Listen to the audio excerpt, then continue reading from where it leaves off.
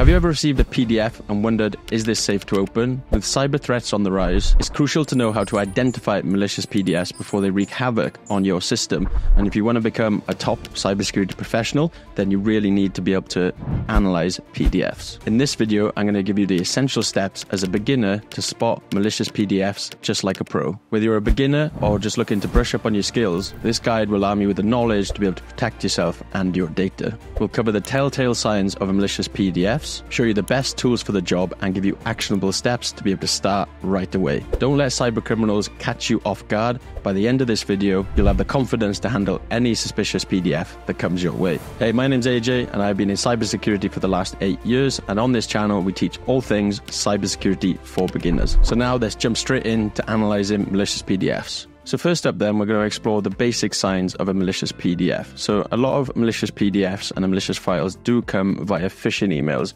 I don't have an example of a phishing email that has delivered a PDF, but what we can use instead is something called Malware Bazaar. And on Malware Bazaar, what you can do is you can get example malware files that you can perform analysis on, and that includes PDFs files. So I come in here, uh, you can pick any one of these that you want. I picked this one in particular here. And as you can see here, then uh, this is just going to give us an overview of the file itself. So if this file was to get delivered via phishing email, a few things that I would be looking out for. So the file name then, I'd um, be likely this has probably come from some kind of uh, finance order or some kind of invoice request, and that's usually what attackers will use. They'll make this look like a legitimate invoice. And so I'd always be watching out for the file name to make sure that it's something I'm aware of. Because if it's even if it's coming from a sender that you know of, you still want to be wary of the file name. It's, attackers these days again a lot more sophisticated, and for that reason, file name is one place that you can start. Also, file size. So, a large file size for a PDF is usually suspicious. It could mean that there's something hidden in there. And as we can see further down here, then that it shows that this information, uh, this file did come from a malspam campaign.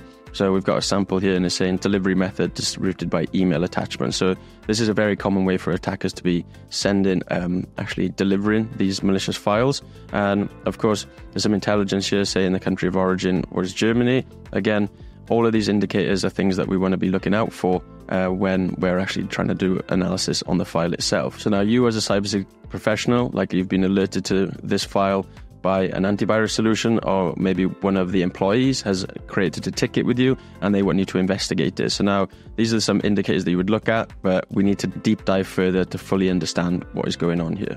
Now it's time to dig deeper into the PDF itself. So what we can do first is download the sample. Then once you've downloaded the sample, so I'm actually using a Kali Linux virtual machine here. Please do use a virtual machine for this, uh, just to make sure because these are live malware samples. If you accidentally open it, you don't want to open it on your live machine where you're doing most of your work.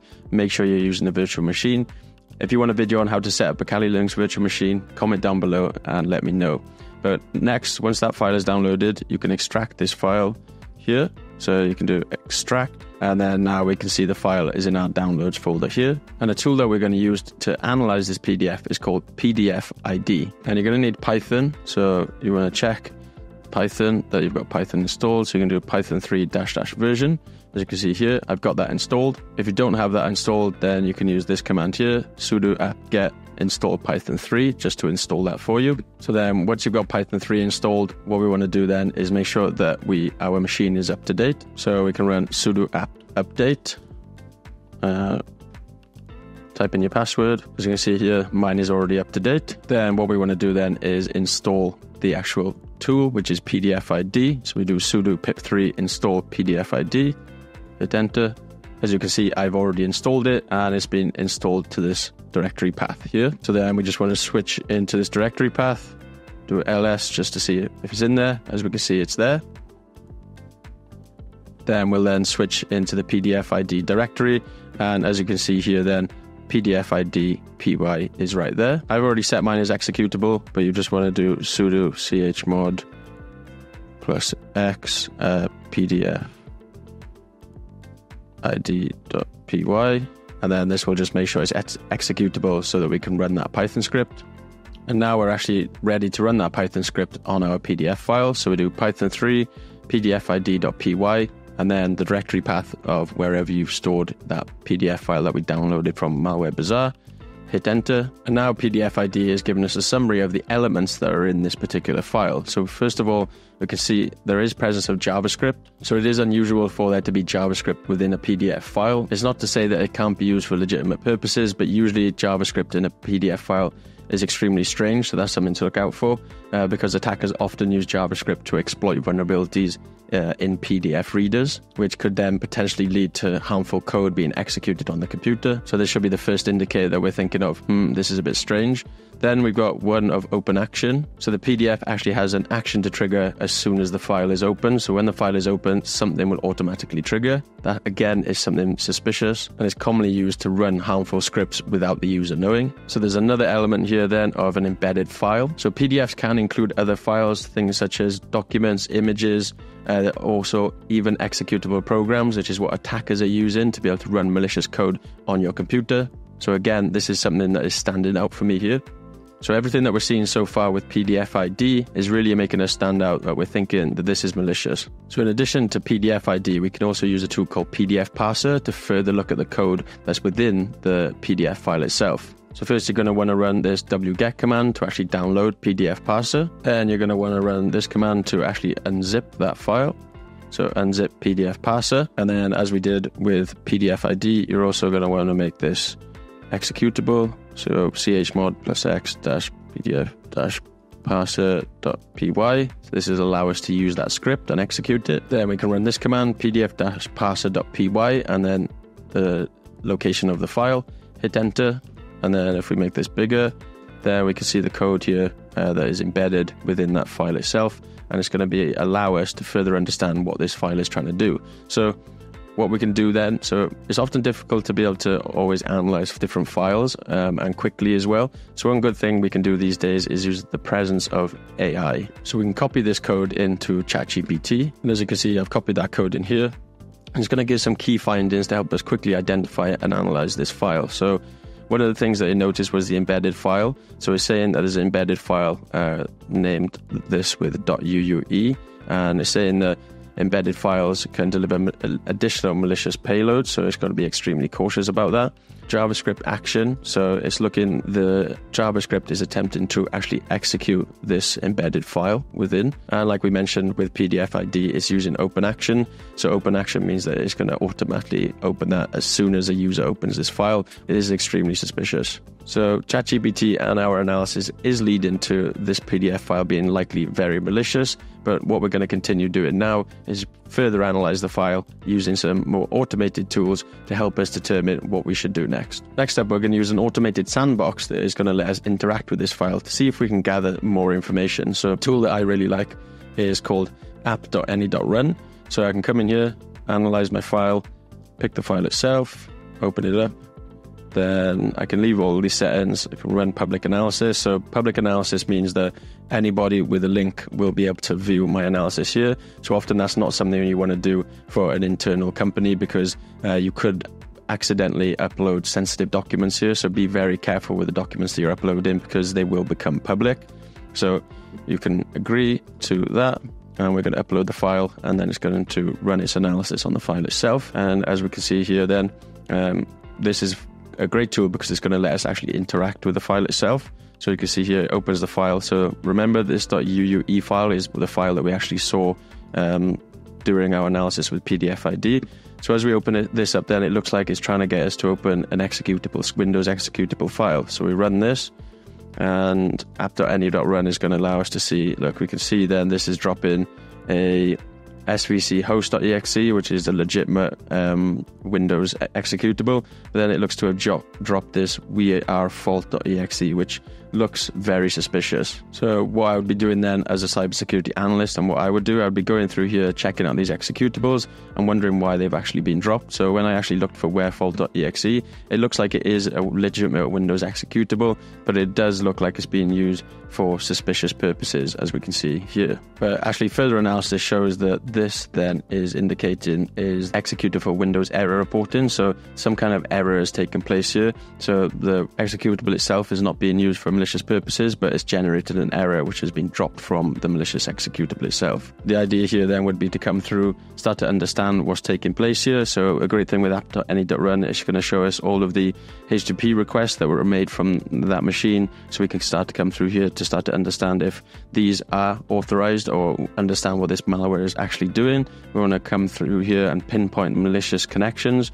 Uh, we can review all the connections from each process as well. So this is going to help us really understand if that file it dropped an executable what did it then do next? It likely wanted to connect outbound. Has it done that here? So this looks to be um, because it's an old malware file it may not be connecting back to its attacker's infrastructure, but this will be a great place for us to be able to see that, and we can see all the DNS requests here as well. And one final great thing about this tool is that you can click on IOCs and it'll pull out all of the indicators from here. So the idea here then, as a cybersecurity analyst, you'll be pulling out these indicators of compromise, determining which ones are malicious, and, and then running those across your infrastructure. So for example, this then we saw the PDF dropped this malicious Windows executable. So this is the same as the file name of the PDF so extremely suspicious. What we'd be doing now then is looking across the entire of our infrastructure, likely using an endpoint detection system, and checking to see if this executor has been dropped anywhere else in our infrastructure. Same with these IP connections as well. We want to be determining which ones legitimate processes connecting outbound,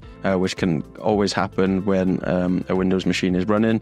Um, but we'd want to determine which ones are the malicious ones and then run those IP addresses across our login infrastructure, uh, across our network to determine if there is any other Uh, systems that could be compromised as well. And now we've been able to use PDF ID and other tools to actually interact with the PDF using static analysis. We've done more automated analysis and we've actually still interacted with the file, so it's given us even more information. Final method I'm going to share with you then is our trusty friend VirusTotal, uh, which is going to let us upload the file and it'll do some further analysis for us in a completely automated fashion this time. We can't actually interact with it, um, but it's a great tool uh, to be able to go to to try and get more information on the file itself. So it's as simple as uploading that, searching it, and instantly it's picked it up because, of, of course, this is an old malware file and it knows about it, it's seen it before, but it's showing here 37 out of 63 detections on VirusTotal.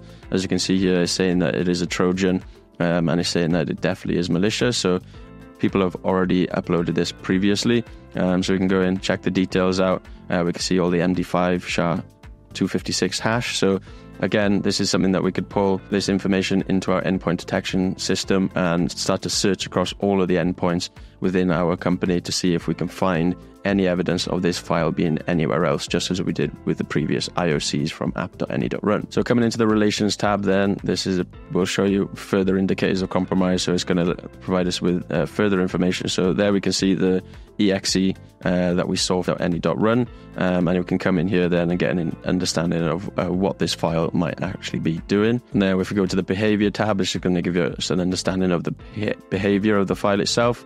Uh, we can scroll down here, we can see that it's triggered a lot of detection rules, a lot of MITRE signatures, a lot of IDS rules. It's showing that, like we saw at the start, there was JavaScript embedded within it. Uh, it was dropping an exe, starting to make some HTTP and DNS connections, which are extremely common for malware files.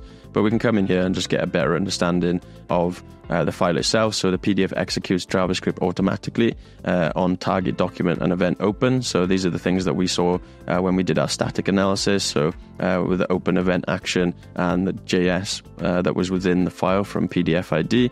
So we can come in here and it'll give us a good idea of what this file is actually trying to do. And again, all of these are the indicators that we want to be looking for and taking back to our companies and saying, okay, I found this indicators of compromise. Let's have a look across our infrastructure if there's any evidence of this taking place. And what you're actually doing there is the starting and the basics of threat hunting. So you want to come in here, get familiar with all of the information that, that VirusTotal can provide to you, uh, because there is a lot of great information in here. Um, but from what we found so far, using PDF ID, Automated Sandbox, and VirusTotal, we can confirm that this file is definitely malicious. So to conclude, then, you were able to pinpoint basic signs of a malicious PDF. You're able to do static analysis on a PDF file using PDF Parser and PDF ID, which is a great skill to have because it proves that you don't need to rely on automated sandboxes to do your analysis. You also do know how to use automated sandboxes like app.any.run if you do need to, and you've been able to leverage online scanners like VirusTotal to further your analysis and to come to some conclusion that the PDF file is malicious. And by following these steps, you're going to be well equipped to avoid these malicious PDFs. Vigilance is always your best defense when it comes to cybersecurity, so you can protect the companies that you work for and protect your friends and family online. Now that we know that most malicious PDFs get sent via phishing emails, go and watch this video next where I teach you how to spot any fake email. Thank you for watching. I'll see you over there.